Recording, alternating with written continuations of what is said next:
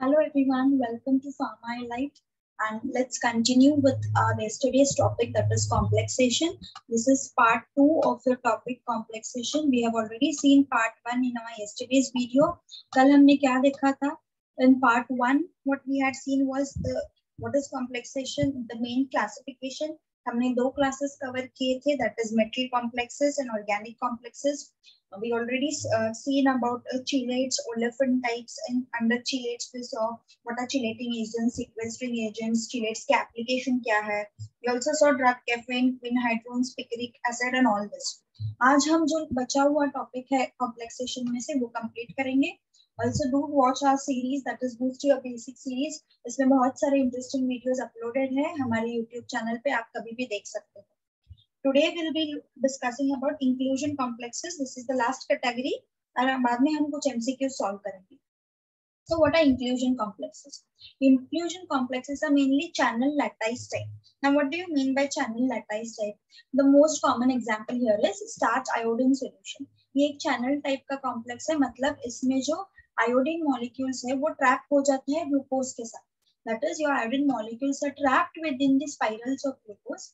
The crystals of deoxycholic acids are arranged for forming a channel which fits into complex. मतलब कुछ तो एक ऐसे channel या complex बनता है और उसमें दूसरा host आके host and channel. There are two things in this. That is host and the guest. जैसे हम host को channel बोलते हैं वैसे there is a guest. So your host could be either deoxycholic acid urea, thiourea और amylose ये ऐसे host जैसे कैविटी बनाता है, उसके अंदर गेस्ट मॉलिक्यूल आके फिट होता है। That is paraffins esters acids like ethyl ethyl glycols और alcohols and dioxide so your host entraps your guest and forms a channel lattice type of complex a typical example for this is starch iodine examples it is used for separation of optical isomers so आपको सिर्फ़ ये कैसे बनता है, उतना याद रखना है। नेक्स्ट इज लेयर टाइप्स अब लेयर टाइप्स कौन से कंपाउंड्स में होते हैं compounds such as clay montomorolite that is a constituent of bentonite these can entrap hydrocarbons alcohols and glycols and they form another molecular layer monomolecular layer of host and guest matlab there is first one layer and then that entraps the another layer of hydrocarbon or glycols and it forms another monomolecular layer so yahan bhi guest और host hote hain so basically these are layers one above the other or one inside the other. Then the next category is cletharate. So cletharate mainly you can remember cletharate C for cage. A cage-like structure is formed in cletharate. Example is warfarin sodium USP is a cletharate of water and isopropyl alcohol. That is, it forms a cage wherein your hydroquinone molecule crystallizes in a cage-like structure with hydrogen bonding. यहाँ आप देख सकते हो ये अपना hydroquinone molecule है। इसको एक ऐसे इंट्रैक्ट या केज पैक्ड स्ट्रक्चर बनता है because they are connected through hydrogen bonds it captures hydrogen and then again it releases hydrogen but when it forms hydroquinone it is in this packed closure form like a cage so इसे हम cage like clathrates कहते हैं because of hydrogen bonding now, what are the applications of these? You can use the cletharets as synthetic metal aluminosilicates, which are to be used as molecular sieves. They are also used to store gaseous, volatile, and toxic substances by the mechanism of cletharet formations. Now the next category is monomolecular type of complexes. These involve entrapment of a single guest molecule inside the cavity of one host. मतलब यहाँ एक host सिर्फ़ एक ही guest को incorporate करता है. Whereas in cletharets, you might have one host incorporating several other guests, but in monomolecular, mono meaning single one. So you have only one guest and one host. Most host host molecule is mostly cyclodextrin. ये तो आपने सुना ही होगा. There is very often a question on cyclodextrins for your entrance exams. These cyclodextrins are cyclic oligosaccharides and they contain minimum of six glucopyranose units which are attached by 1, 4 alpha 1, 4 linkage. अब ये cyclodextrins में minimum six units होते हैं and they are connected by 1, 4 alpha linkage. Now, what are the types of cyclodextrins or classes you can say? Alpha, beta and gamma, ये three types के cyclodextrin होते हैं and this is very very important to remember. They consist of 6, 7 and 8 glucose or glucopyranose units. That is alpha contains 6, beta contains 7 and gamma contains 8. ये लगता है बहुत simple है लेकिन इतने इजी क्वेश्चंस पे डेफिनेटली एग्ज़ाम में आते ही है So you should not lose marks when you get such an easy question.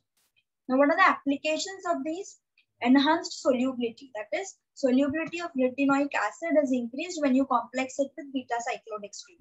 Or enhanced resolution. That is, resolution rate of drugs like famotidine, tolbutamide is also enhanced when you complex it with beta cyclodextrin.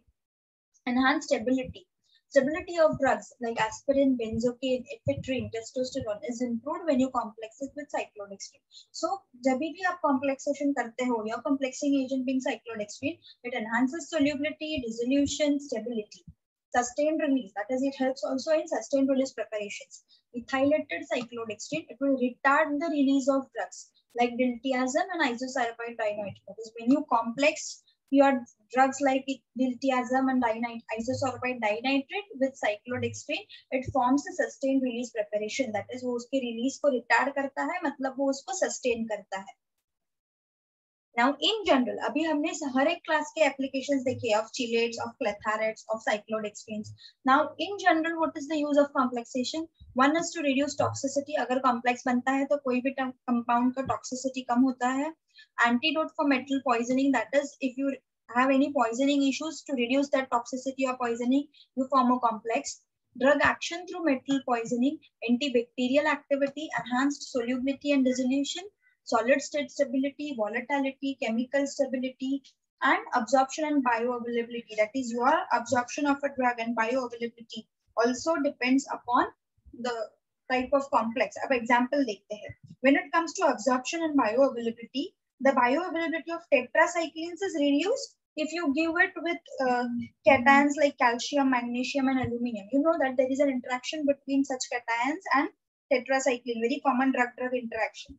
But on the other hand, if you combine beta cyclodextrins with uh, indomethacin and barbiturates, it has enhanced bioavailability. So whether your bioavailability is increasing or decreasing depends upon the drug. But toxicity हमेशा reduce होता है because it reduces the toxic effects. It helps in reducing poisoning, antibacterial activities enhanced. So uh, dissolution solubility is enhanced जो अभी हमने देखा था. Your bioavailability is the one which depends upon whether your drug is uh, tetracycline calcium ions or whether you are having indomethacin and barbiturates. अब हम कुछ questions देखते हैं उसके पहले do make sure that you have subscribed to our YouTube channel. Press the bell icon so that you get a reminder when we post a video. Don't miss out on any important videos. We also have our free WhatsApp group where we are posting daily MCQs for GPAT, NIPER, other exams, job related openings. So to get added onto a group, just drop us a message on this below mentioned WhatsApp number. We will add you to our group. अब देखते हैं first question. The number of dative bonds to the central metal ion is its dash. Oxidation number, compound number, coordination number and atomic number. अब हमने complexation में कुछ oxidation number के बारे में सुना है. Are we carrying out oxidation reduction reactions or are we doing a standard hydrogen potential जो अपना standard hydrogen potential SHE हम पढ़ते हैं that is your electrode potentials all that decides whether your compound is oxidizing or reducing वैसे आपको यहाँ पे कुछ नहीं है then compound number is your compound number related to what you are doing in coordination complexes no atomic number atomic number कहाँ से मिलता है from periodic table that is we start from hydrogen helium lithium but number of bonds is something which is related to coordination number अब ये क्या है coordination number हमने cobalt का एग्जांपल देखा था, हमारे फ़र्स्ट कॉम्प्लेक्स पार्ट वन के वीडियो में cobalt two plus cobalt three plus six plus different cobalt are available so in cobalt, when we see that the complexation, when it occurs, cobalt kitne bonds banata hai we get six bonds from cobalt, right? हमने देखा था NH3 के साथ bond करता है chloride के साथ bond करता है। So this six bonds that is the central atom form six bonds is called as coordination number so यहाँ option C is correct next one which of the following is or are are examples of sequestering agents? Citric acid EDTA tartarates and all of the above. ये तो हमने देखा था first video में कि the sequestering agents को कहाँ कौन से कंपाउंड्स को हम सिक्वेस्ट्रिंग एजेंट्स बोलते हैं the ones which are having the capacity to form water soluble chelate That is, if they form a stable water soluble chelate, उन्हें हम sequestering agents कहते हैं. And only three examples we had seen, that is citric acid, EDT, and tartarate. All these form water soluble chelates, and hence they are called as sequestering agents, and the process is called as sequestering. It is the property by which a metal is suppressed without removing by solution ये हमने देखा था first video में। So the correct answer is option D next one beta cyclodextrin contains dash number of glucose units six seven eight and ten ये तो मैंने अभी आपको जस्ट बोला था कि this is very important you can expect definitely one or two question from this chapter so three types of cyclodextrin we have that is alpha beta gamma alpha में six unit होते हैं beta में seven and gamma में eight unit होते हैं and they are connected by one form of four linkage alpha linkage so यहाँ beta के बारे में पूछा है so the correct answer is option B thank you for watching the video and I hope you all enjoyed it stay यून we are coming up with more video soon